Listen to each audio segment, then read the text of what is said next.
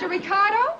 Yes? I'm Joi Lansing, and this is Jil Jarmyn. Oh, well, hello. Glad to know you, girls. How are you? This is uh, Mr. Mertz. Well, how do you do? Joy, he's a regular little Cupid doll, he is. We're supposed to have our pictures taken with you down by the pool. In fact, the photographer's waiting for us right now. Well, we were just on our way down. I'll just grab some cigarettes and we'll go.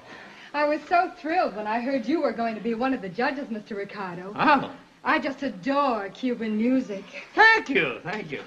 Me too. I must have seen your show in the casino a hundred times. Well, isn't that nice? I get such a boot out of it every time you sing Babalu. Well, thank you very much. Shall we go, Fred? Yeah, yeah, yeah, let's go. Tell me,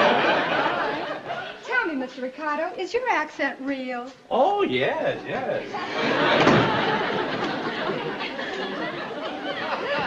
Well, that was a nauseating scene.